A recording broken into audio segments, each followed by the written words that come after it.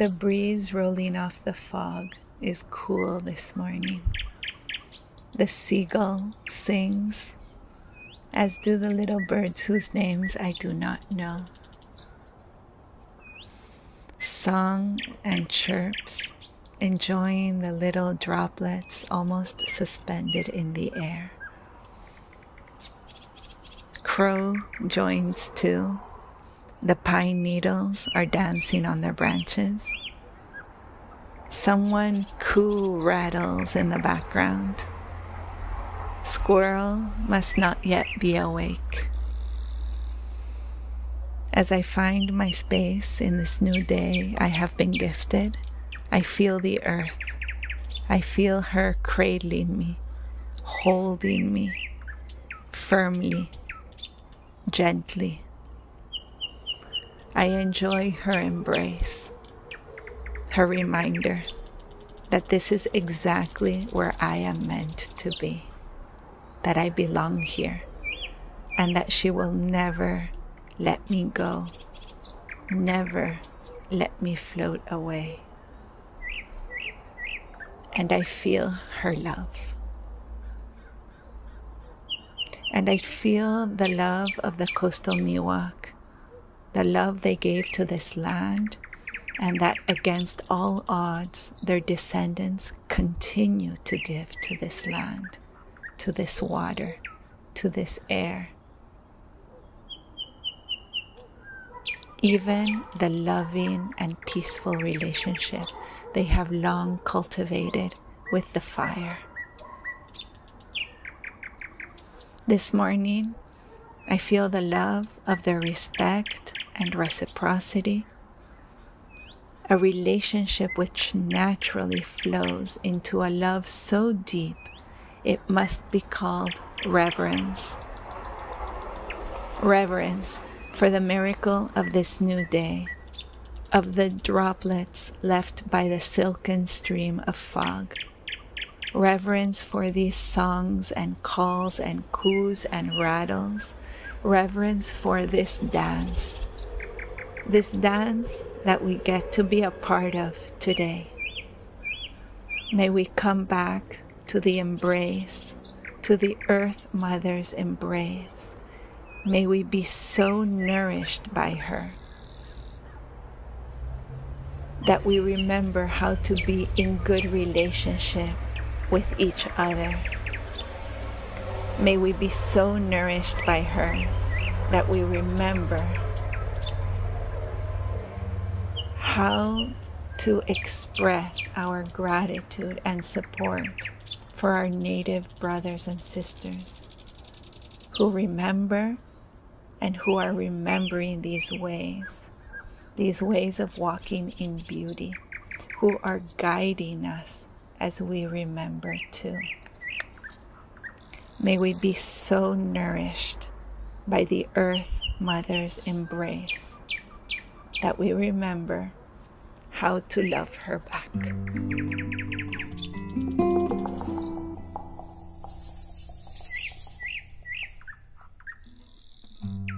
A just, stable, and sustainable world for all life. It's the future that 2020 reminded us we really need. While it can be hard to imagine the huge shifts it will take to get there, one thing remains certain how essential we are to each other. People to people, people to nature, nature to everything.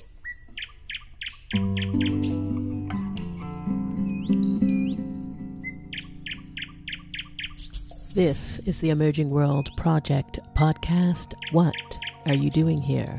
And I am your host, Addison Brown.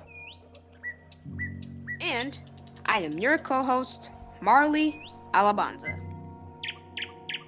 Today, our guest is Jennifer Brent.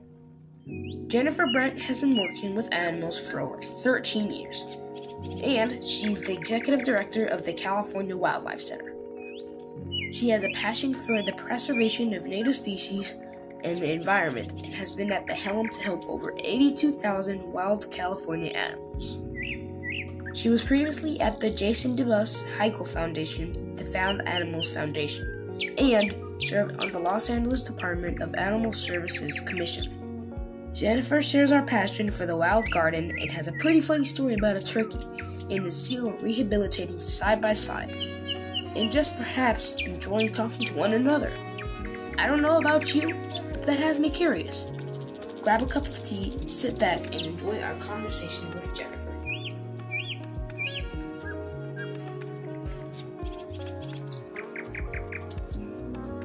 Hi there. How are you? I'm well. I'm a little nervous. Oh, that's good. That would make two of us then. So the morning's good for you so far? so far, so good. There, I, I had a nice walk with the dogs. Not too hot, not too cold. It's uh, lovely Southern California fall. We're so lucky. I love that. I know. That chill in the morning, I just, I love it. I love it. I woke up and I was thinking about this conversation and how just mm, how this one really resonates because I live here. And um, so I have a, a, a deep uh, connection to this land and the wildlife that inhabit it and the work that's done on it. So, having said that, um, I was up early and in them um, around the reservoir area, and uh, that's a great way to start the day.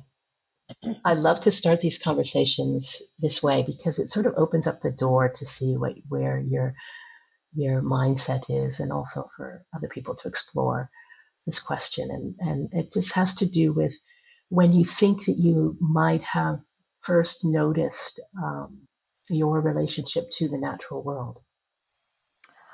Well, I grew up in North Carolina and um, very much in a rural way in the 70s. And so I would run around and fish crayfish out of the creeks and and really terribly go butterfly hunting which of course is I would never do today, but in you know in, in 1975 it didn't seem like a bad idea. I think we Mm. all have learned a lot from that in, in intervening years. I think too that fortunately having grown up in a space where there was trees and and birds all around, I think it makes for a very special type of growing up, which I unfortunately don't think as many children are able to have any longer. Um, we're we're we're you know I think that right now we're looking at a vanishing world, and um, so now I think children need to really see look out their window and appreciate the birds and appreciate the squirrels and all the urban animals and the things that are close to them because they don't have the same types of opportunities as maybe um, I had growing up out in the country. So it sounds like it was um, it wasn't like you had an event and, and started to sense that oh I'm part of this um, massive ecosystem.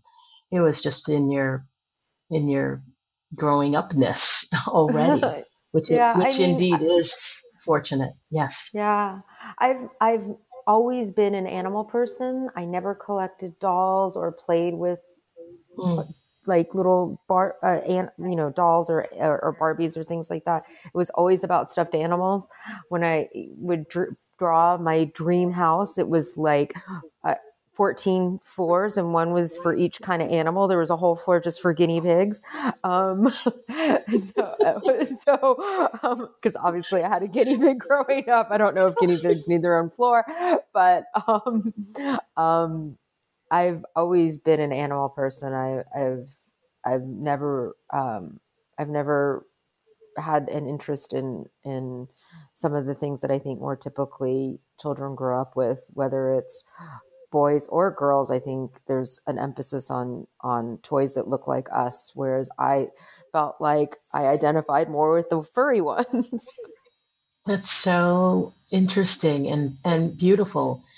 When I talk to younger people about this, what you're speaking about, which is just a sort of natural kinship, I- wonder if there's a sense, was there a sense, and still is there a sense of some sort of calling, especially um, because of the work you're doing now, which involves obviously uh, sustaining this world. Do you feel like there was a, is a calling for you?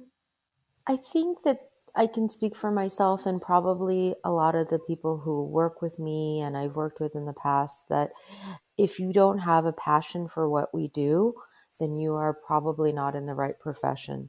So I'm mm. very fortunate that all of my coworkers are there because they truly love what we do and we feel I've had other jobs where um, you kind of clock in and clock out. And this is not that kind of job. It's something where you can leave at the end of the day and say, I've made a difference. It might have hmm. been a small difference. It might have been a huge difference. It might have only been a difference to one animal. But that's incredibly gratifying. So I think that all of us were really drawn to working with animals because we feel a kinship to them. We feel a connection to them in a way that I think um, is very special. And I know that a lot of people feel that. It's really interesting when I interview folks or I see, um, I talk to rescuers on the phone. They always say, well, animals always come to me. I, oh, mm. animals have always liked me. So people really, I think, deep down in their marrow have a relationship to animals, which maybe reality seems to deny them that opportunity at times. But it's really fascinating when I talk to people and I say, "So, how did you hear about California Wildlife Center in it?" And and oftentimes they times they've brought us an animal and they just want to share every story of every animal they've interacted with because it's so special to them and um, because they've had such unique opportunities whether it's a, a, a, bird that comes every day and feeds or um, a special animal they had growing up. People really have a special connection to animals and I think they're very healing and therapeutic for a lot of people as well. I would agree. Honor that connection. It feels more like humans need to save themselves um, before they think about they can actually save the planet. Coming off of COP26, we all I think it was an opportunity for people to really take some time and think. And frankly, mm. I was impressed by how many stories I saw in the media about conversations that I've had internally or uh, animal people have had or conservation people have had, but the global zeitgeist was not there. And I think it's mm. there, it's coming there. I think we're really at a flexion point. Um, mm-hmm. I think we've been hearing the warnings for years and years. Um, and right. we're just now listening. The people who were shouting about it in the 60s and 70s and saw that our resources were dwindling, um, the seeing the animals, the extinction rates, um, the extinction rates in plants, I think um, is is tremendous. And we're really at a point now where we say, "Gosh, in 50 years, there will be no more orangutans. There will be no more tigers. Mm-hmm. There will be no lions. There will be no rhinoceroses. There'll be no polar bears. All the really sort of charismatic megafauna that, um, as a child, you're so intrigued by. And to say that they won't be around any longer, I think, is is devastating. And I think it is a wake up call to so many people. Um, you know, Rachel Carson was talking about it so many years ago, and here we are finally listening to to her. Yeah, that's that's an important um, piece, knowing how long we've actually been aware of it and what sort of um, action we have taken towards. Now that we have the awareness, what do we do? Um, COP26 mm-hmm. was really, really eye opening in a lot of ways. I didn't expect a lot of conversations to come on the outside of the internalness of what that um, meeting is about, meaning it's governments coming together. And they're going to be looking at it from a, um, a standpoint that is very different. Uh, this uh, more grassroots uh, community cooperation um, perspective. And I think that's really important for people to understand as we get all that information from there. Uh, a lot of it is upsetting, right? We're just, oh, they're not making decisions about fossil fuels. They're not making decisions about this, that, and the other. And it's important to understand that that, that arena functions within something. It is an inside job there in a way. So there's a lot to be done. And in a way, I don't know about you, I'm excited to be a, a part of it. Mm, I'm probably choosing that more because the pain, um, the realization of the detriment can be overwhelming. Uh, it's going to bring me around to the California Wildlife Center. Um, California is pretty super cool. In you know, in in we're sort of on the leading not we, but it's sort of on the leading edge of a lot of policies and uh, conservation conversations for a very long time and conservation actions. So I want, um, if you could share with us um, a really deep look into the Wildlife Center, starting from perhaps where it began, where it's located, some of the animal profiles um, native, of course, to the area, your volunteer program, which I understand is a very strong intern program, how the, um, the rescue relief program works, your place in the community, who pays for it, all that good stuff that when we see cute pictures of, like I saw the fawn this morning, and fawns are superheroes, but fawns are only superheroes if we know about them. So um, I would love to uh, love for you to share with us you know, a deeper look into the California Wildlife Center. So, California Wildlife Center was established in 1998 by a group of volunteers, and it was um, very much a grassroots small organization doing what they could. Um, it was granted right of entry to a previous it was a home built in 1952 then became a ranger station um, out in the santa monica mountains it's located between calabasas and malibu um, the first year they helped 200 plus animals and this year, we've helped over 4,000, or we will help over 4,000 animals. Um, we focus on native California animals. So, those are animals that were originally here. So, for example, there are certainly um, animals that have been introduced, such as the Nan- um, parakeets. I think everyone in Los Angeles has mm-hmm definitely heard the parakeet. make sure I tell you my make sure I tell you my parakeet story. Okay, go ahead. um, um, uh, but we only work with with native animals, with the exception of uh, just a few small species, um, and that is really to preserve the animals that flourish in this area that live in de- cooperatively with native plants, um, native arthropods, native food sources.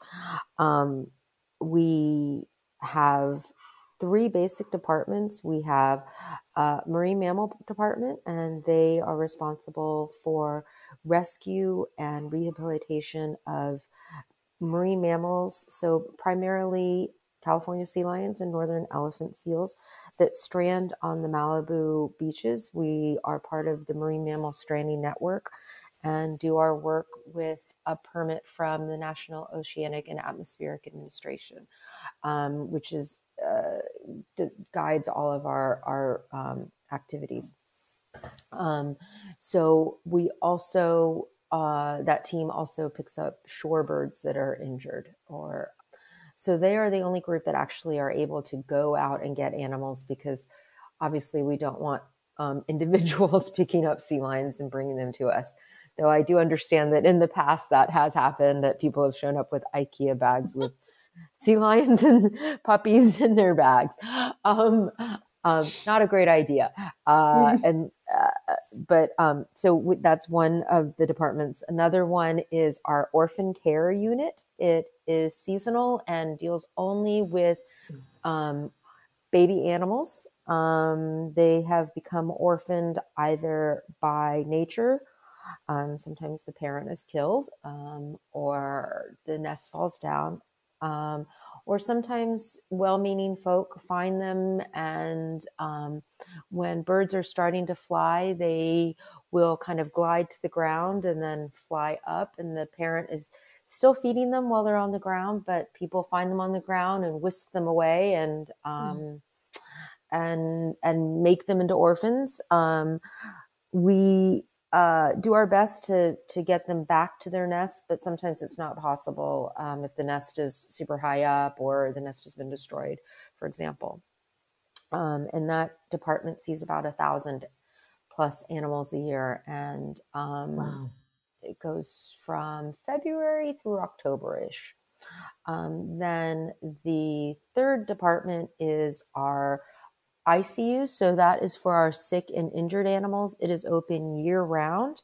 We are open 365 days a year, and it deals with all of the animals who have had negative contacts with humans because the majority of our animals are brought to us because of human interference.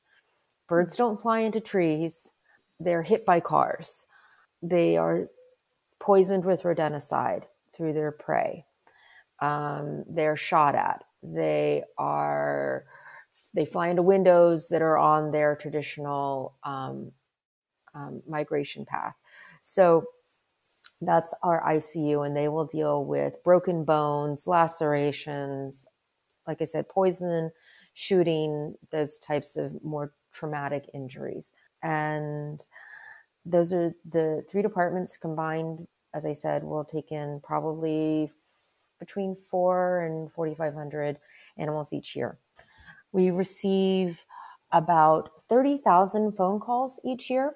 Mm-hmm. And um, they come from all over the country. Obviously, our name is California Wildlife Center, so we'll get calls from people who've Googled us in Northern California um, mm. and and we do our best to to guide people. Um, we get lots of calls about non-native animals as well. So going back to those parakeets, well, we don't take in parakeets. We refer people to resources that we've vetted for parakeets. Um, mm. So um, I actually I had a, a, a, message on Instagram this morning that was about uh, a rabbit that somebody had found that was missing an eye and. Mm um, so in that situation, well, I, I advised her to give us a call. We will then have her text a photo of the rabbit, and determine if it is a native rabbit or a, a domestic rabbit. If it's domestic, we have multiple resources for domestic rabbits. If it's a native rabbit, then um, we'll suggest that they bring it to us. Um, so from those calls, uh, those 30,000 calls, we will often have people text us photos. Um, and that is to identify species. People are not great at animal identification. I'm not always great at animal identification, but the general public is, um, it, it, it, can be exceptionally difficult. And we want to make mm. sure that we're bringing native animals. We don't want people to drive all the way to us and bring us an animal that we turn around and say, I'm sorry that we can't accept that um, that animal. So we'll try to get them the resources before they come to us. We also have volunteers that go to the animal shelters and pick up animals because uh, our, our location is a little remote and people with unreliable transportation or people who have jobs that preclude them from driving out um, or just don't have the time, they can take it to their animal shelter and then we have volunteers that go and pick them up. I, I just want to go back a little bit and, and put this little piece together. So if somebody finds, well, it's important that if you find an injured animal that it first is identified because you're not the California Wildlife Center is not the place to take a domestic rabbit if they find a domesticated rabbit that's injured. So this yes. identifying process is really mm-hmm. important, um, not only for you guys, but for the animal if it's in critical condition. There was something else that came up that I was curious about. So mm-hmm. there's two type of native uh, so there's California, California, sea lions, and those are um, it, they're eared seals. So they're the ones that uh, you might that you might associate with like the circus. So they're very hmm. sleek. They they're brownish. They're on the smaller side, I would say, compared to an mm-hmm. elephant seal, a northern elephant seal. Those are not, they do not have ears. They, um, we get them when they're pups because they adults can be very large. So if you've gone to San Simeon and seen the seals that are on the rocks there, those are northern elephant seals. Um, mm. As adults, they can be the the they can be enormous. So we're talking like 50 100 pounds. Um, so we don't pick those up. And they're the ones that as adults the males will get the snout that looks like a truncated elephant um, trunk. So both the elephant seals and the sea lions we pick up as pups. And the majority of the reason why we pick them up is a failure to thrive. They are not finding enough nourishment in the ocean to sustain their life. So they're coming to the beaches um, because they're they don't have the energy that would be supplied by calories to keep swimming. Mm. Uh, though we do get also um, marine mammals that um, are, are stranding as a result of entanglement. So they might have been caught in a fishing net or hmm. line, mm. and then we have to surgically remove those. And of course, we responded to animals um, in the last month from the oil spill uh, that occurred nearby. Which is uh, will bring me around to this question um, with regards to California Wildlife's mission going forward in light of these types of uh, catastrophes and changes in climate, human um, encroachment, um, and the crisis that come along with it. Are you seeing uh, animals being brought to you affected by that, and what sort of uh, changes do you have to make to be able to um, provide a service?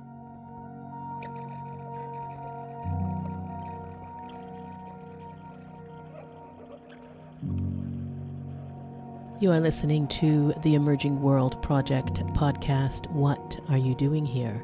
Our guest today is Jennifer Brent. She is the executive director for the California Wildlife Center. Take a breath. We'll be back in a moment.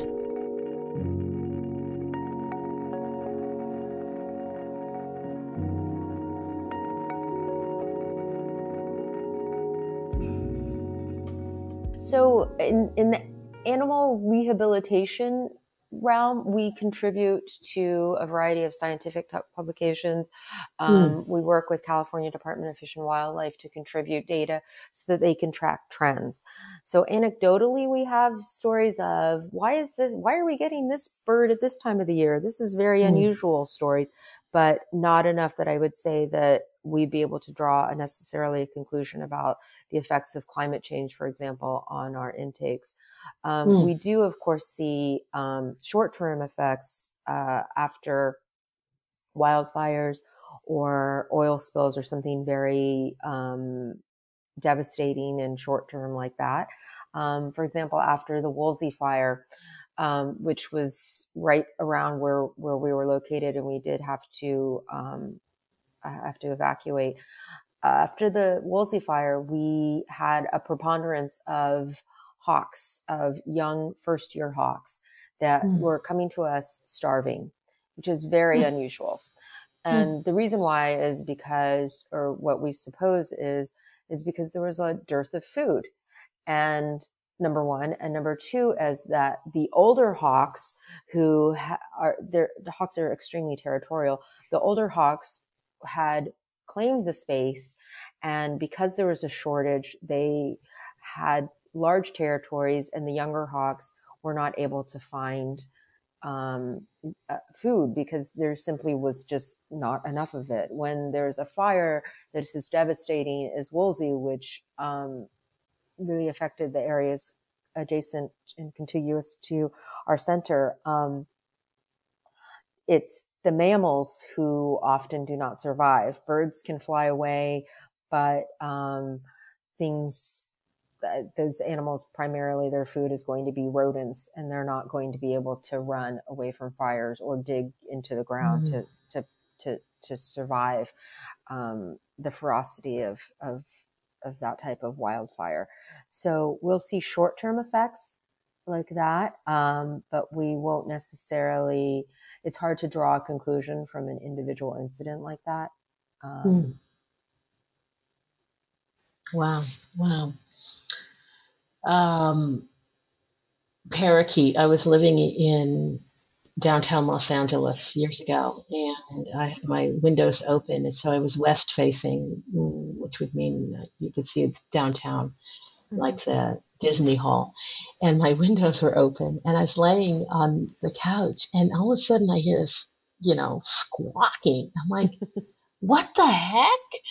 And I go into the living room, and there's a parakeet sitting on frame of my, you know, like these these sort of French door windows, right? That uh-huh. kind of uh-huh. open outwards, right? Just outwards into the open sky in the middle mm-hmm. of the city, right? I'm like, where the heck did you come from? of course, at that time I had to. Um, I wasn't working in wildlife at that time. I had to look it up to find out, right? And maybe you can share the story better than I can. How did they get here? What is going on with those parakeets? oh, well, there are a number of species that were introduced inadvertently in mm. Southern California. And because of the numbers of fruit trees that we have, the abundance, the, the mild climate, they have flourished. Things like um, finches like parakeets um, that uh, you know it's kind of an interesting conversation actually to define what is native at what point does mm-hmm. something become native um, when species that are technically native are vanishing what is native so um, we get a lot of pushback for example when i talk about cats um, mm. because cats are not native and cats are devastating for the bird population and mm-hmm. um, people are like well but cats are cats belong here and um, and you know tell that to the birds of hawaii that are. Are, are, are going extinct because of cat introduction. So I think that at some point, you know, we talk about that at work sometimes because it's it's a question of well, should we take in these animals? Um, mm. And and we have to think about about how we can provide care the best care possible for the animals that we do have. So hmm. um, that is part of why we we limit to to native species. Um, it's it's a difficult decision though. It's very difficult, especially when they're they're right in front of you. Um, right, yeah. right, right. Um, what so what would be a, a typical day for you? Uh, so I'm going to say during your busiest season because mm-hmm. you know that's fun. um, I think there's no such thing as a typical day, um, but I mm. would say like the busy season. Uh, hopefully, I will have been. We will be prepared enough that the busy season isn't going to make us crazy.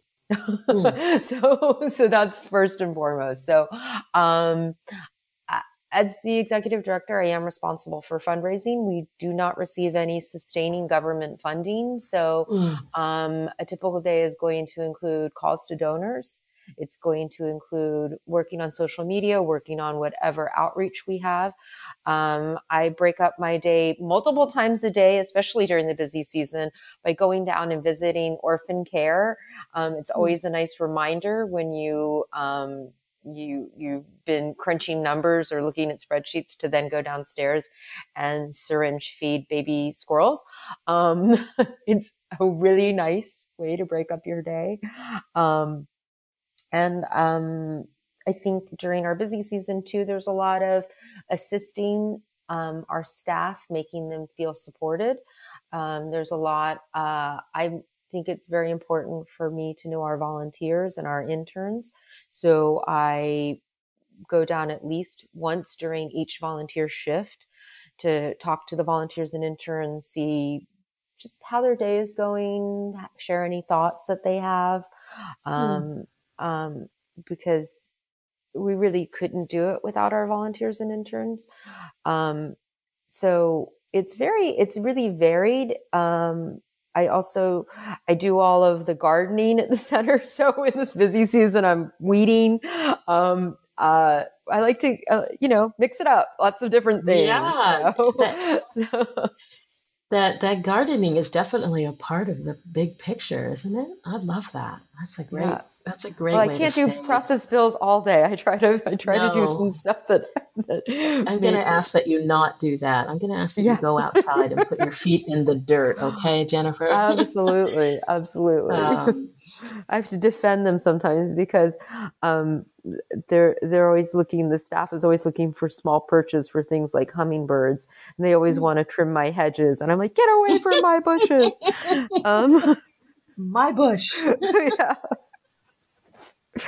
But um, so that kind of yeah. brings me around to uh, when people are out and about and they find an injured animal or they think it's injured injured and you touched mm-hmm. upon this um, with regards to birds but i was thinking about that fawn this morning and of course i was going to ask you mm-hmm. what um, happened there and how did it come into your care but also perhaps you can um, give us just a little bit of uh, uh, insight into what would be the best immediate thing to do for your everyday person that might be, you know, just out on a hike and happen upon an injured animal or a sleeping fawn.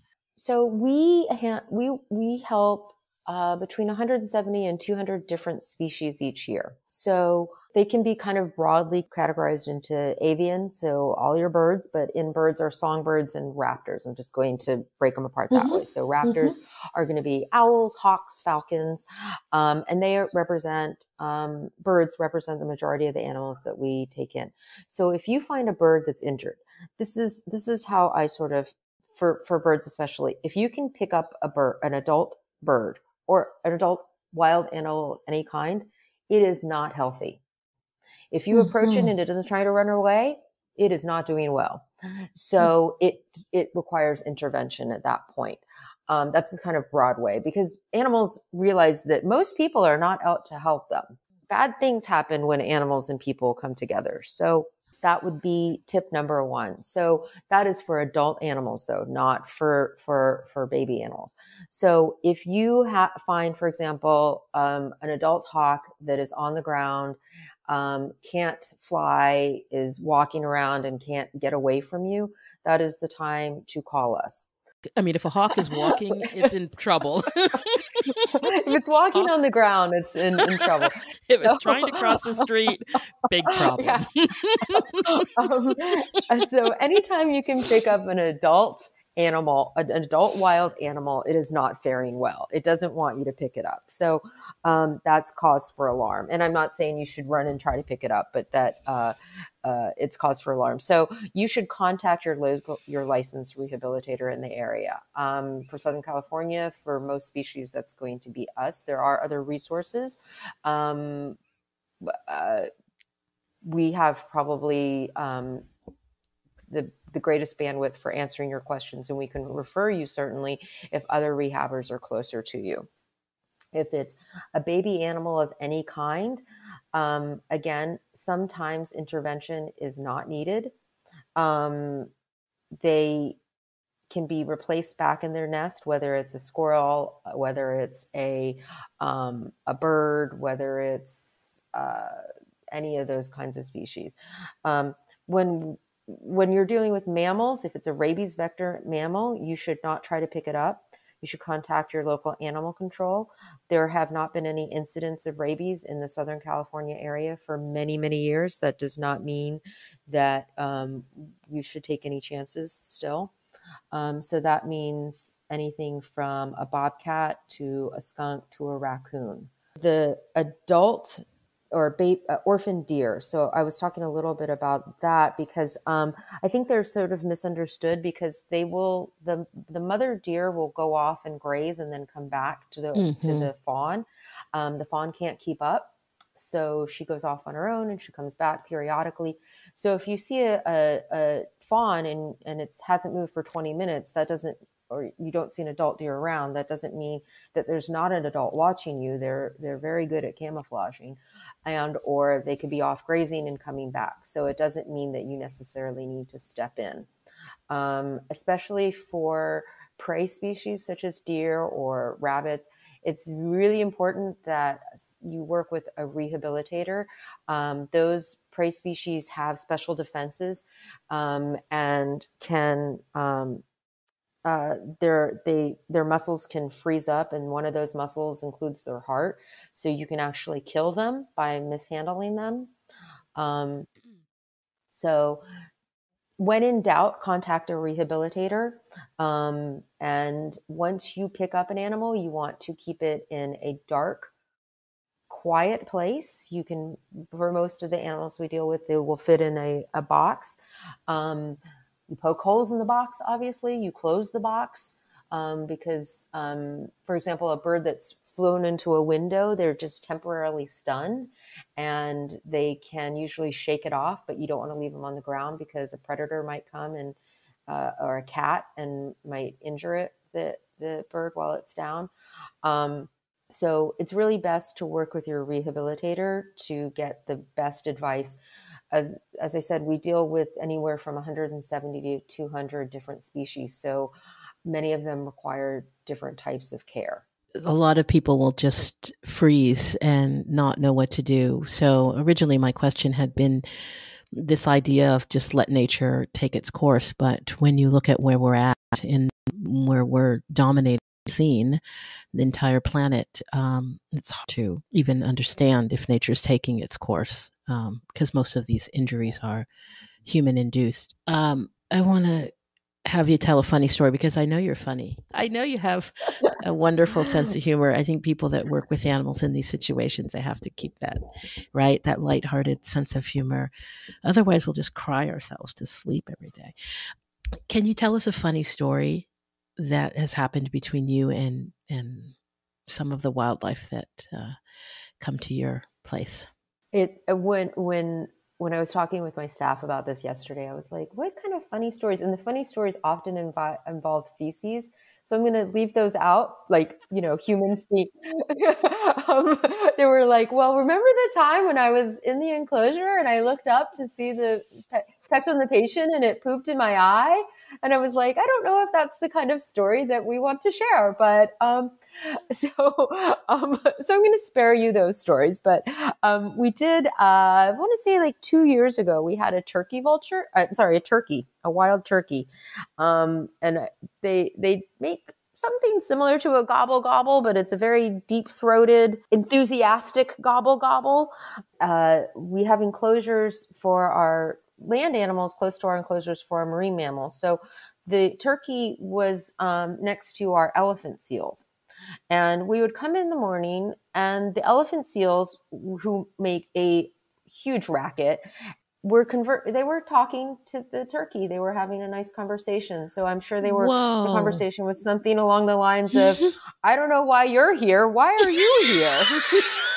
because you know I don't think normally those two would meet. You know, I don't think turkeys hang out on the beach um, or in the ocean. That's so it's a really so, kind of fun, cool thing. Yeah. That is really, really interesting. Did you happen to record it just out of curiosity? We have it somewhere. Yeah, we have it somewhere, but it's it's almost difficult to distinguish because it seemed like they were a little bit of competition to see who could be louder um, and, and more verbose. And so we're like in the mountains, right? And um, I always think when these elephant seals or sea lions come to us, they're like, and the native animals that are around us, because we have, you know, mountain lions and bobcats and deer and all kinds of things around us, must be like, what the heck is going on at that place? And maybe they just think we have a lot of turkeys um, when they hear those noises. I love that. Okay, before I get to um, this last question, I, I just want to go back a little bit because um, I see people on the trail feeding deer. I want to. I just want to know what your what your thoughts are about that. So, we do not encourage people to feed wildlife for a variety of reasons. One is because we don't want wild animals be, to become dependent on us. I don't think there's many things sadder than hearing about zebras and lions digging into the trash to get their food, then it's blows my mind. So while I understand that the impulse comes from a good place, we do not encourage feeding of wildlife, and that means accidental or on purpose. So when people complain about coyotes in their neighborhoods, we have the first thing we say is close your trash cans don't leave out food for your pets don't leave out food for the feral cats because essentially you're you're setting up a buffet.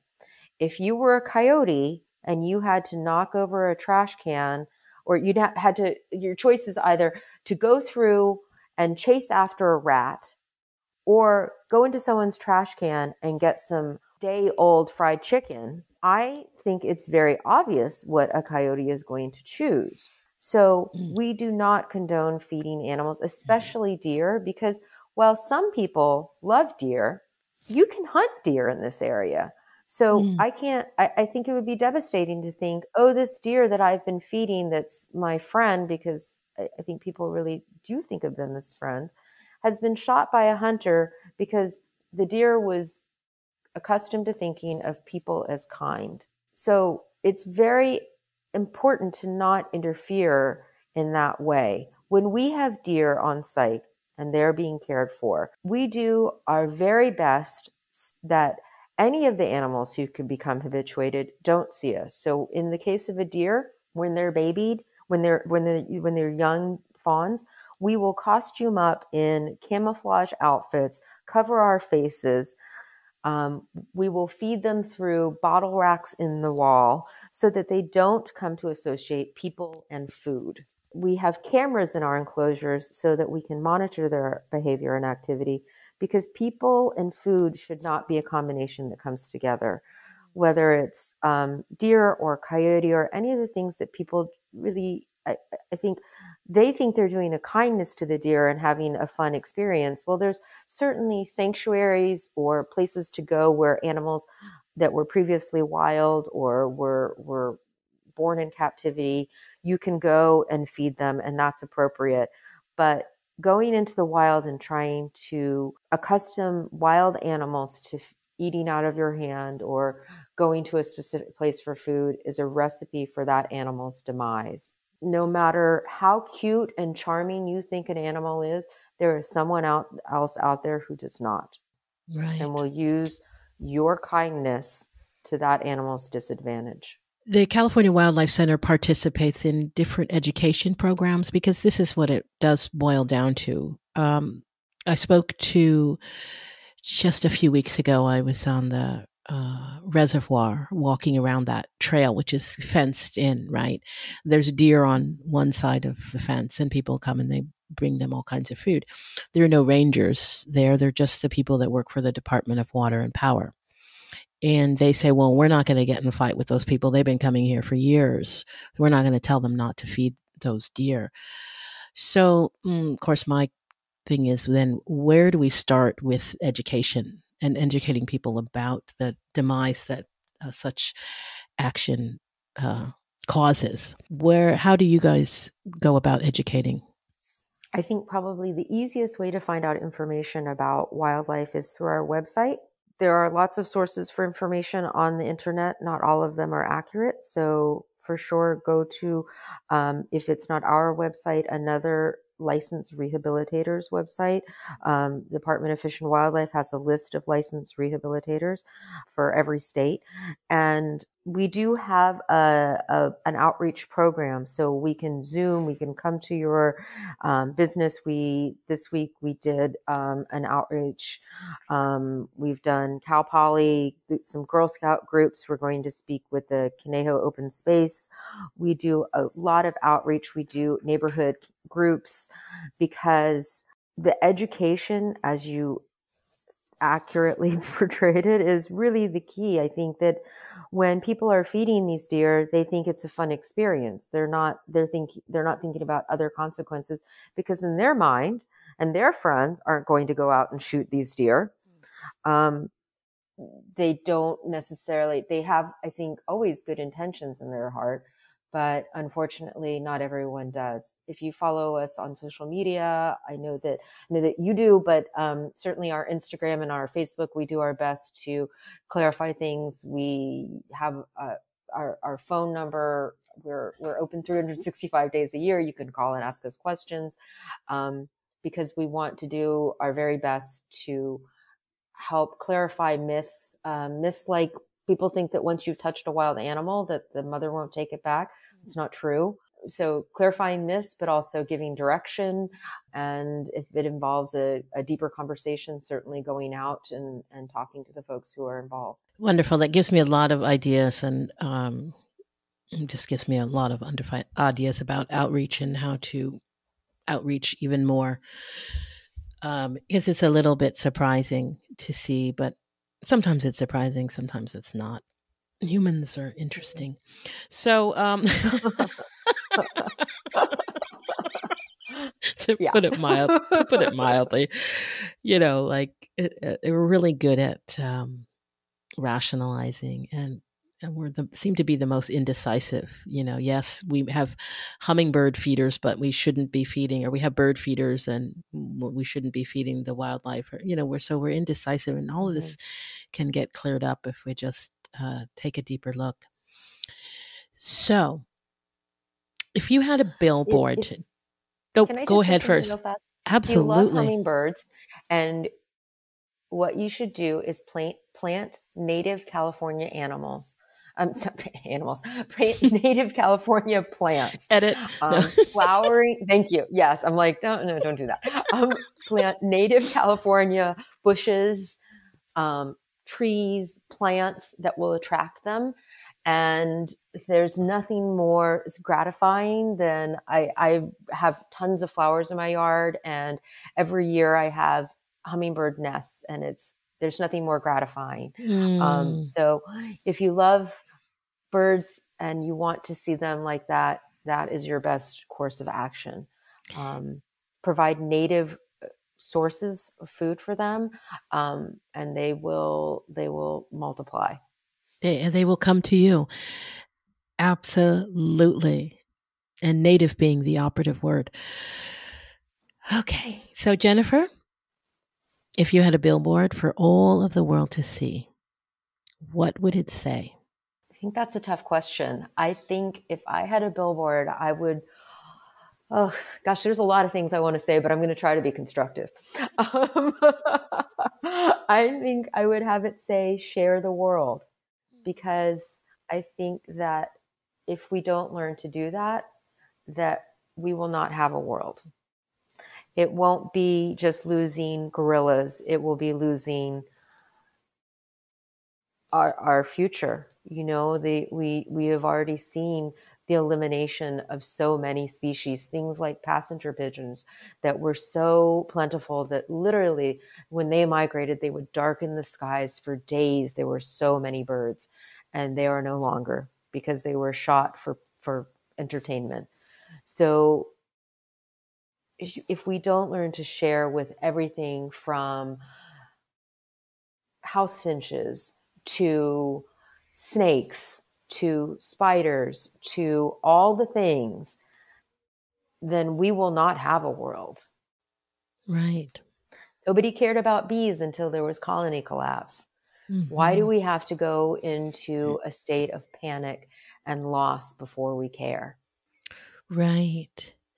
So that key element of education and understanding what you will understand, you will care about. The more you appreciate something, it appreciates in the same way. I love your billboard. Thank you. Yeah, I mean, I, I, I think you know, so often we have moved forward with a singular mind towards expansion and growth but what have we lost in the, what is growth? Is growth building more freeways and more strip malls and everyone having a big yard and watering it profusely? Um, mm-hmm, I don't know. Mm-hmm. What are you exchanging that for? Right. And, and, and, and personally, really um, thinking about what enough is, right? So enough more as a, a mindset and not an amount. Um, Absolutely. Humans yeah. are the only superfluous species. Mm-hmm. If we weren't around, the animals would continue as they are. I had a, a talk uh, last week with a young gentleman you know, in Dubai, just an amazing young kid, and he said the same thing, but he was laughing. He's like, "They would be so happy if we were gone." you said they would, you know, humans be gone, like this place would, you know, flourish, Yeah. and they wouldn't, they wouldn't miss us, you know. And there's a little bit of mm, humility that needs to come with really understanding that, right? Uh, humans Yeah. have to really drink in that humility. Yeah. I don't think that's something that we're traditionally very good at, Mm. um, but certainly we the the the planet, the trees, the birds, the bees, the the worms, the everything will go on without us, but we cannot go on without Mm. them. hmm It's been really wonderful to talk to you. Uh, we could go down a whole philosophical, spiritual realm on this conversation. Um, I really wanted to point out um, uh, your story, uh, how you landed here, and the work that the California Wildlife is doing, um, and also to encourage people to get involved in their own communities, in right in their own backyard. Um, and I was really taking a page from my own playbook um, by wanting to really have this honest conversation with you. Um, so thank you for taking the time out to come and speak with us. Is there anything that I missed that you would like to share before before we wrap it up? What I would say is to keep in mind that every animal matters because I think that we have a sense of, well, it's just one, one little bird. It's just one little squirrel. You know, I think every day I drive and I see, frankly, squashed animals on the Mhm, road, mhm. right? And every single one of them matters. And uh, I think, you know, if you have a, cat, bring it inside. if you are using rodent poison to get rid of animals, then there are many, many alternatives. You need to do a little bit of extra work. I think we've, you know, we all want to have our, our fresh fruit in the winter and have it flown Mm. across the world, but Mm. living locally and sustainably and look and doing that extra 10 minutes of research, if you contribute that, that's a gift to the planet. Absolutely. Okay, Jennifer, again, thank you for joining us. Thank you so much for this opportunity. It was really a pleasure. Thank you for stopping by. You can help us spread the word about what are you doing here by sharing this episode or leaving a review in your favorite podcast app.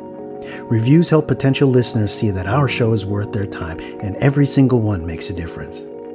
For a deeper look at what the Emerging World Project is up to, head on over to emergingworldproject.org. The Emerging World Project studios are on Tongva land.